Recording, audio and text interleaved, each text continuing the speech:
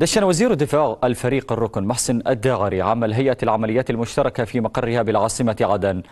وأكد الداعري على أهمية ومحورية العمليات المشتركة في ظل الظروف الاستثنائية التي تعيشها البلاد مشيرا إلى أن الهيئة ستكون همزة الوصل بين قيادة وزارة الدفاع والمكونات العسكرية المواجهة لميليشيات الحوثي الإرهابية.